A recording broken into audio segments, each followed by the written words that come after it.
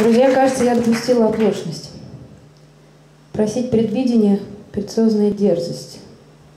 Таинство предвидения равняется Богу и жизни. Но зная, что все тщетно, среди всего этого смятения все-таки, все-таки хочется желать истинного смысла и истинной свободы. Сударыня, несомненно, живое есть то, что нельзя узнать иначе, как в нем участвуя. Только мертвые вещи ясны и понятны. Глядите-ка, даже обычные слова пьянеют, когда исходят от ваших пророков, умеющих слышать эхо в горах. Потрудитесь сделать простейший творческий акт. Родитесь заново. Не беспокойте себя, дорогая госпожа. Не беспокойте себя.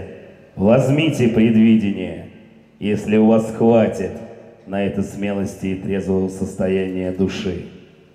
Летите.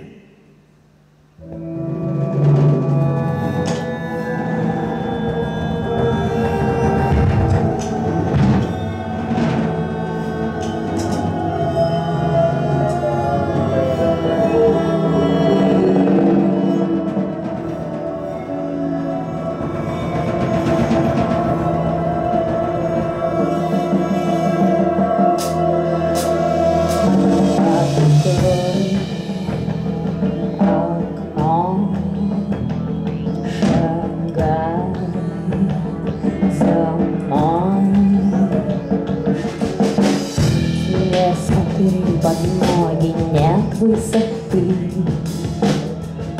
Если хочешь, даже будем на ты.